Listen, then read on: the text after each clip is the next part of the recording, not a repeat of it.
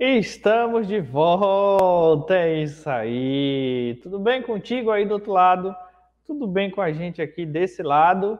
Aula de matemática para você que é estudante da nossa rede municipal de ensino, das turmas de nono ano. Desde já, seja bem-vindo, seja bem-vinda. Vamos juntos, né? De novo, tentar aprender, tentar aprender, opa, tentar aprender matemática da melhor maneira que a gente conseguir, tá bom? Bem possível que você já me conheça. Eu sou o professor Iago Ramos, venho lá da Escola Municipal Faustino Dias Lima, tenho pele branca, cabelo preto. Nesse momento aqui da aula, estou com uma camisa cinza, sem estampas, visto por cima um jaleco branco, e aqui atrás de mim, como sempre, o cartaz da Secretaria Municipal de Educação de Feira de Santana, que tem as logomarcas da Prefeitura Municipal de Feira de Santana e da própria Secretaria de Educação aqui da nossa terra, da nossa Feira de Santana, tá bom? E o que é que nós temos para aprender nessa aula, para a gente não perder o foco? Uma coisa que a gente já vem estudando aí ao longo de algumas aulas. Pois é, né? Esse tema, tá? É um tema um pouquinho grande e é por isso que a gente dividiu ela em algumas aulas para a gente entender cada coisinha, né, sobre esse tema, entender de uma forma bem clara, tá bom? Então, vamos lá, vem aqui, né? Porque eu quero já começar a aula exercitando a sua memória para tentar, né, fazer com que você lembre de coisas sobre esse tema que a gente viu em aulas anteriores, tá bom? Então a ideia é essa, tá? E como é que vai ser esse exercício, tá? Na próxima tela aqui, né, vai ter uma pergunta e aí vai ter algumas alternativas de resposta, você precisa achar qual é a resposta correta, tá bom? Mas tem cálculo, é isso aí. Então, precisamos aí do caderno, lápis, borracha, caneta, certo? Para poder fazer o rascunho desses cálculos, tá bom? Então vamos lá. Vamos aprender aí em casa, né? Você está em casa, vamos aprender, tá bom? então vem lá, vem, cá, vem cá, vem cá. Vamos lá, vamos juntos. Tá aí. Esse é o exercício que você tem que fazer, tá bom? Qual é a solução para o sistema formado pelas equações 3x mais y igual a 5 e x mais y igual a 1? A solução é o par que tem 1, 2 no item A, onde x é igual a 1, y é igual a 2.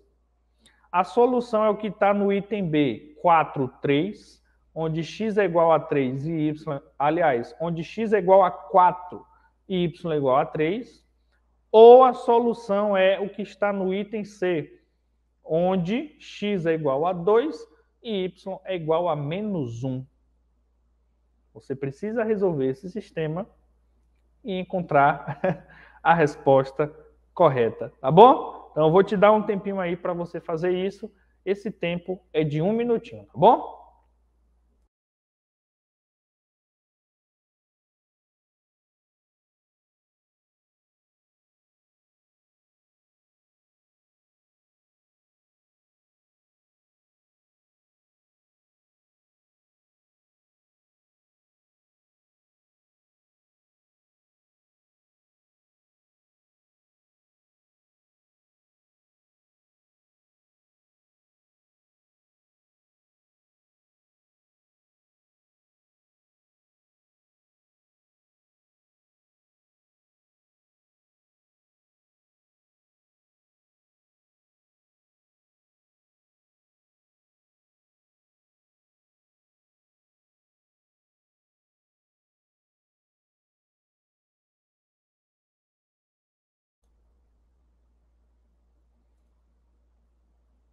Prontinho, belezinha.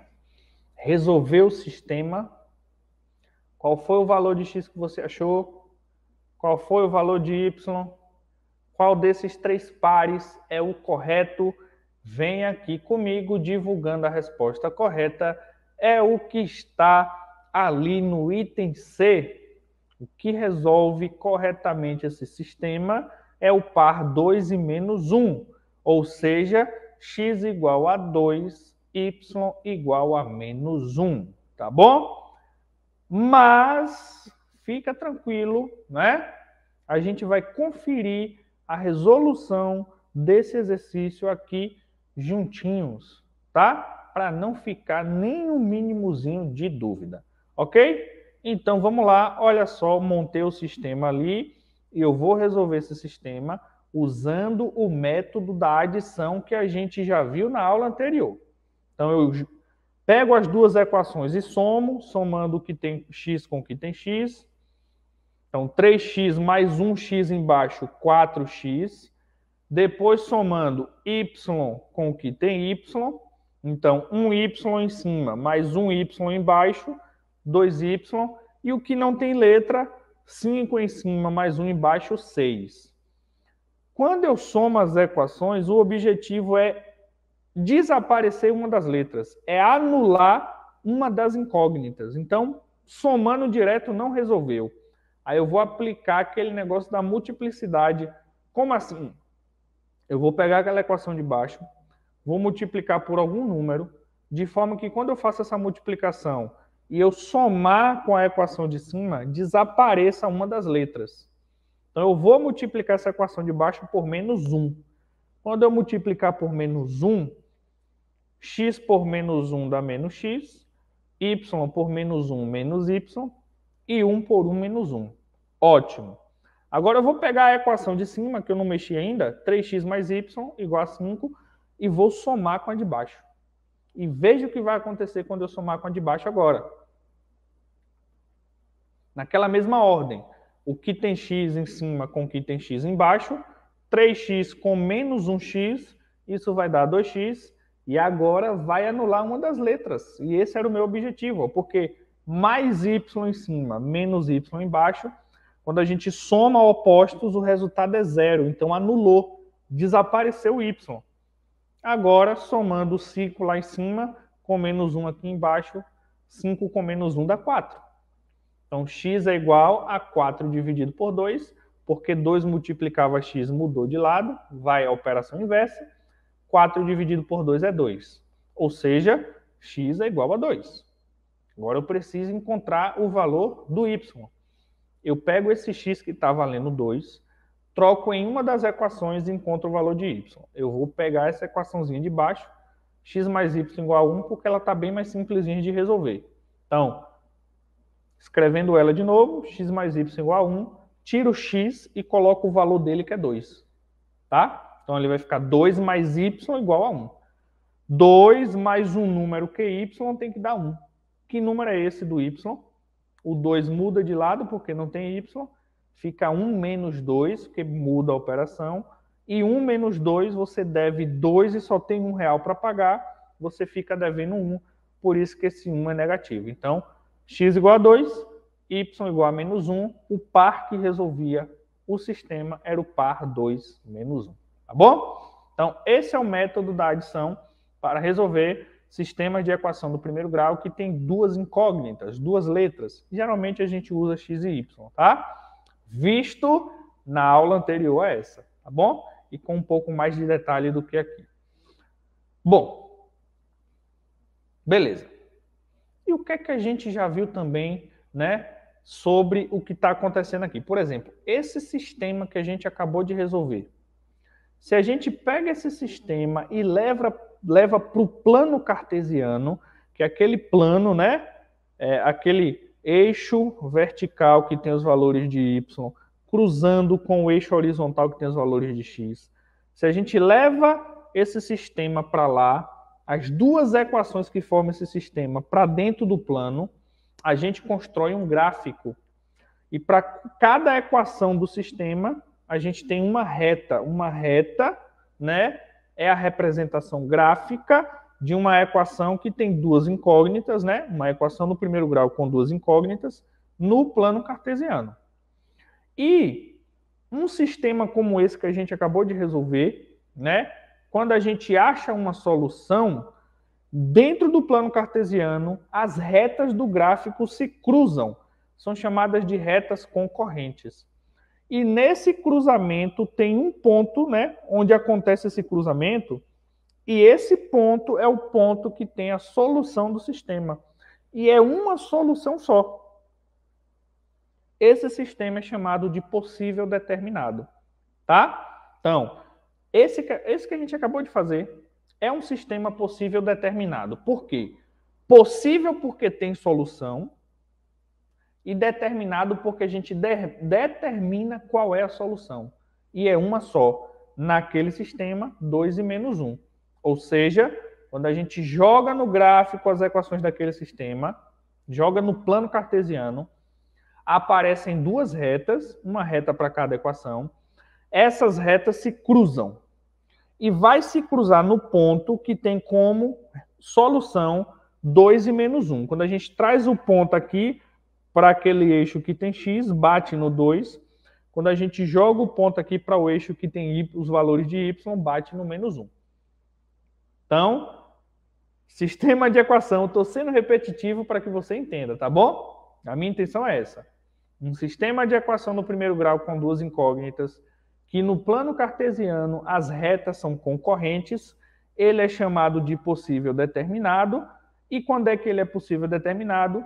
Se ele tem uma única solução, tá? Então essas coisas a gente já viu por aqui, e é claro, se eu perguntar o que é que a gente está estudando, você vai dizer sem muita demora, né? Que é professor sistema de equação no primeiro grau com duas incógnitas. E a gente já viu três formas de resolver esses sistemas. Um é tentando, a gente chama de método das tentativas. O outro método que a gente já viu aqui, inclusive nessa aula também, e já está revisando, é a adição. E o outro método é o da substituição, que a gente já viu também por duas vezes, na aula anterior, como revisão, e na aula anterior da anterior, porque era o tema que a gente tinha que aprender. Tá bom? Então, beleza, é isso aí que a gente vem estudando, tá bom? Ótimo, vamos respirar um pouquinho, vamos fazer uma pausa e pensar sobre o quanto a gente entendeu da aula até aqui. Eu quero que você pense nisso. Eu sempre trago esse momento da aula. Ele é muito importante. É o momento de você parar e pensar no que você está aprendendo e quanto você está aprendendo, tá? Para você ver, para você conseguir medir, né? Medir o que você está conseguindo entender da aula, tá? Então eu sempre trago essa escalazinha de 1 a 4. 1 é pouco, 2 é metade, 3 é maioria, 4 é bastante. Então eu vou te dar 30 segundos para você pensar, tá bom? Pergunte-se um, o quanto eu estou entendendo dessa aula até aqui e responde escolhendo um dos números, tá bom? 30 segundos para fazer essa reflexão.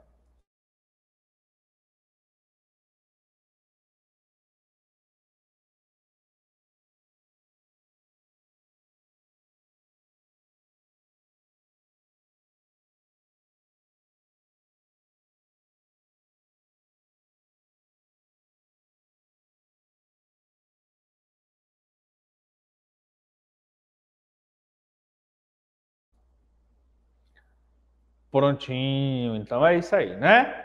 Refletiu? Conseguiu perceber o quanto é que você entendeu até esse momento? Beleza.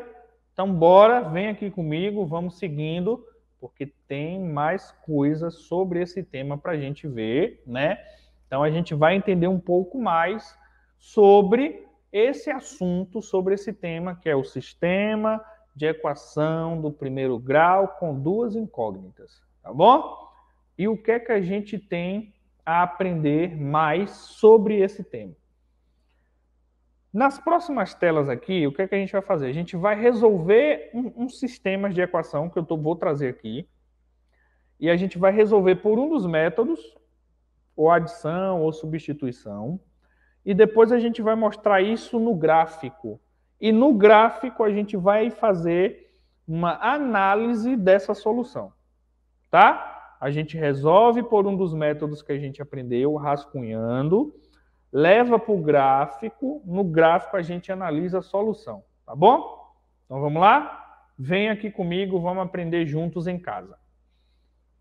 O primeiro sistema que eu vou trazer para você, a gente vai resolver pelo método da adição. E resolvendo pelo método da adição, a gente segue duas intenções, dois passos. A primeira intenção é somar as equações de uma maneira que anule uma das incógnitas, que faça desaparecer uma das letras, falando de uma forma mais simples. Mas nem sempre, quando a gente soma direto, desaparece uma das letras. E aí a gente aplica a multiplicidade nas equações. Pega uma, multiplica por alguma coisa que faça aparecer o oposto das letras que estão na outra. E quando a gente soma os opostos, zera, anula uma das letras, tá bom? Então vamos lá, olha só, pelo método da adição.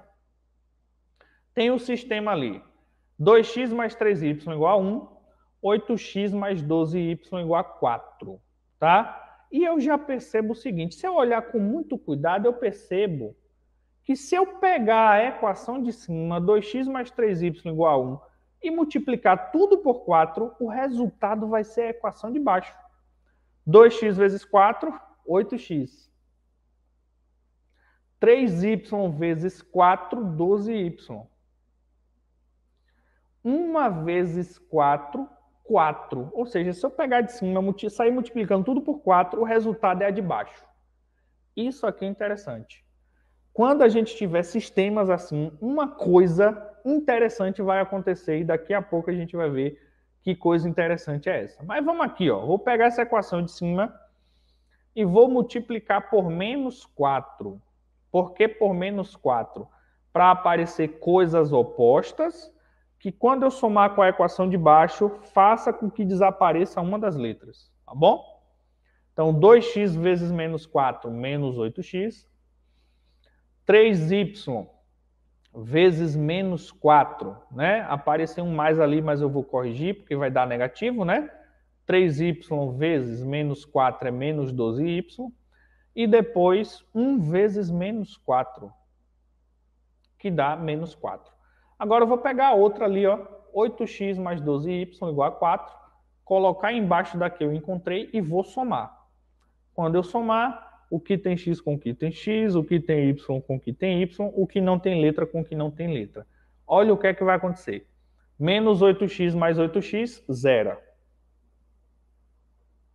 Depois, menos 12y mais 12y, zero também. São opostos. E depois, menos 4 com 4. Quando eu somar, também dá zero. Zerou tudo. E isso de zerar tudo vai acontecer quando uma das equações, né, você encontra multiplicando a outra por algum número. Foi o que eu trouxe no início. Se a gente pega a de cima, multiplica por 4, dá a de baixo. Tá? Então, quando você multiplicar uma equação por alguma coisa e encontrar a outra, e quando você for aplicar o método da adição, vai zerar. Ou ainda que você use substituição, vai zerar tudo, vai zerar tudo, tudo, tudo. Tá? E isso acontece quando você tem as frações equivalentes. A fração 2x mais 3y igual a 1 equivale à fração 8x mais 12y igual a 4. Por quê, professor?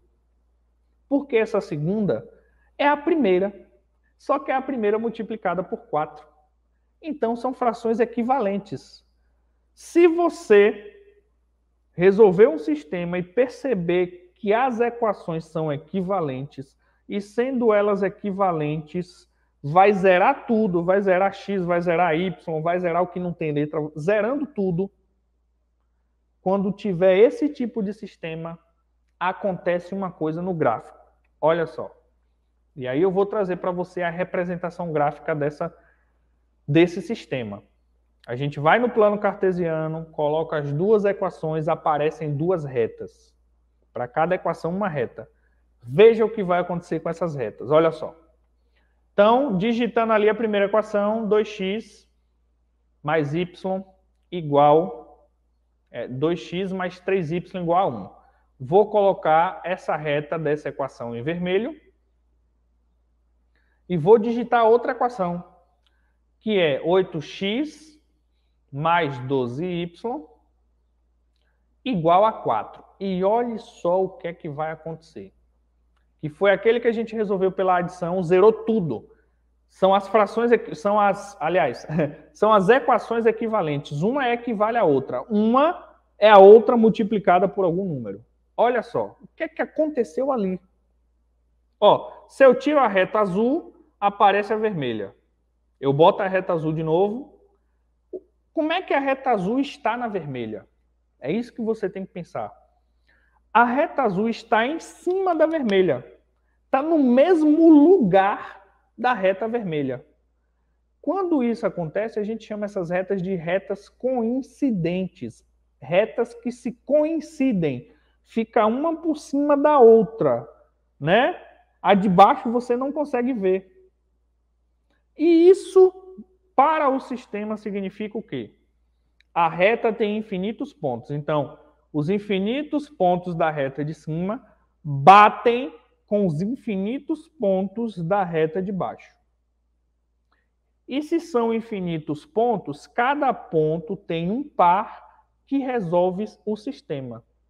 Ou seja, tem infinitos pares que resolvem os sistemas que têm essas duas equações. Se tem infinitos pares que resolvem o sistema, eu não consigo escrever a solução, porque são infinitas. E esse sistema recebe um nome. Tá? Esse sistema é chamado de sistema possível indeterminado. Possível porque tem solução. Indeterminado é porque eu não consigo determinar a solução. E eu não consigo determinar porque são infinitas. E isso acontece quando as retas das equações são retas coincidentes, uma por cima da outra. E esse caso é quando você tem equações equivalentes. Quando você, quando você vai resolver e zera tudo, as frações são equivalentes. As retas no gráfico coincidem, tem infinitas soluções, sistema possível indeterminado. Beleza? Tranquilo? Então, pega essa análise aí vale para qualquer sistema que for formado com equações equivalentes, aquelas que vão zerar na resolução, vai zerar tudo. As retas coincidem, infinitas soluções, sistema possível e determinado. Agora vamos lá. Outro sistema, esse eu vou usar a substituição. A gente pega uma das equações, isola uma das letras. Depois que isola, a gente usa a substituição na outra equação, tá bom? Então a gente vai fazer isso aqui nesse sistema, usando a substituição, x menos y igual a 5 e x menos y igual a 0. Eu vou pegar aqui, ó, x menos y e vou isolar x, x vai ficar sozinho, o menos y vai para o outro lado, vai mais y, vai a operação inversa, né? Então fica 5 mais y, ou seja, x nesse momento está valendo 5 mais y. Então, na outra equação, eu tiro x e coloco 5 mais y. Então, eu vou substituir e vou fazer as continhas que devem ser feitas, tá bom? Então, vai ficar no lugar do x, 5 mais y, menos y igual a zero. O que é que acontece aqui? Ó? Vamos lá. Desse lado vai ficar y menos y, do outro lado vai ficar 0 mais 5. 0 mais 5 é 5, né? Então, y menos y igual a 5. Só que y menos y, qual é o resultado disso? Se eu tenho um y e tiro esse 1y, zera. Agora um detalhe, aqui não zerou tudo, tá bom? Aqui zerou apenas a parte que tem as letras. Não zerou tudo, tá? Então, ali colocando que zero é diferente de 5. Quando isso acontece de zerar apenas uma das letras, tá bom? De zerar só as letras, não zerou tudo, na outra zerou tudo. Cuidado para não confundir. Então, quando acontece de zerar as, só as letras, a gente tem uma outra análise acontecendo aqui. Ó. E o interessante é a gente olhar para as equações. Ó. x menos y é igual a 5. Na outra, x menos y é igual a zero. Como é que x menos y pode ser igual a 5 e igual a zero ao mesmo tempo? Percebeu a confusão? Então, esse sistema aqui a gente diz que não tem solução. Tá bom? Que é um sistema que quando a gente vai resolver, seja por substituição ou por adição, você vai zerar as duas letras, né? Tanto o x quanto o y. Mas a parte de número geralmente não, não zera, tá? Beleza? Lá na outra zera tudo. Eu estou falando isso várias vezes para você entender, tá bom? Esse daqui não tem solução. E no gráfico, como é que isso fica, né? No gráfico fica assim, eu vou fazer as duas retas ali, x menos y igual a 5, coloco uma de uma cor e a outra do outro, tá bom? De outra cor. E a equação depois, x menos y igual a zero. O que é que está acontecendo com essas duas retas? Né? Eu vou mudar de cor ali. Ó. Vou colocar uma de uma cor e outra do outro, certo? Uma eu estou colocando ali de lilás. E a outra, vamos ver, a outra acho que eu vou colocar de vermelho. Vermelho, prontinho. O que é que a gente tem aí de interessante nessas retas? É que essas retas elas não se tocam em lugar algum. Em nenhum lugar ali a reta vermelha toca a reta lilás ou a reta vermelha está por cima da lilás, né? Não tem nenhum cruzamento. Se não tem cruzamento, não tem como ter solução. Só há solução para o sistema se as retas se cruzarem ou em um ponto só, quando as retas são concorrentes, ou em infinitos pontos, se uma estiver por cima da outra e forem coincidentes. Se não tem esse cruzamento, se não tem nenhuma dessas duas formas de cruzamento, vamos pensar assim, o sistema não tem solução. Porque no sistema você tem duas equações. E o valor de x em uma tem que ser o mesmo valor de x em outra, na outra. O valor de y em uma tem que ser o mesmo valor de y na outra.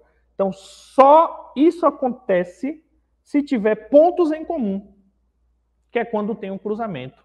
Não tem o cruzamento, não tem, a gente diz que o sistema não tem solução. É quando as retas aparecem assim, não tendo cruzamento. Então, vamos organizar esse pensamento.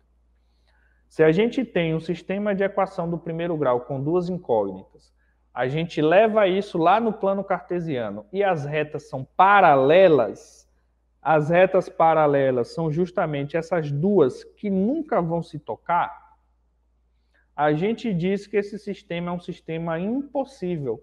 E por que impossível? Não tem cruzamento, não tem nada em comum, então a gente não vai ter solução para o sistema, tá bom?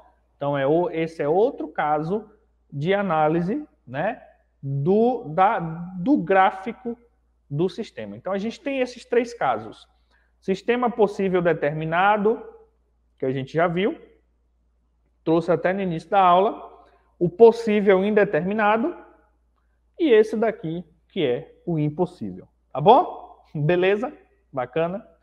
Então, é isso aí, tá bom? Vamos avaliar o que, é que você aprendeu nessa aula toda. E aí eu estou deixando como sugestão você escrever um pequeno comentário contando o que você aprendeu nessa aula, tá bom? Quando você faz isso, você vai depois você vai ler e você vai ver, né? O que é que você aprendeu e como você conseguiu aprender. E aí você vai estar tá fazendo, né? Você vai estar tá refletindo é, o que você conseguiu aqui entender nessa aula, tá bom? Bom, eu espero que você tenha curtido aí do outro lado. Opa! a gente aqui desse lado curtiu bastante, tá bom?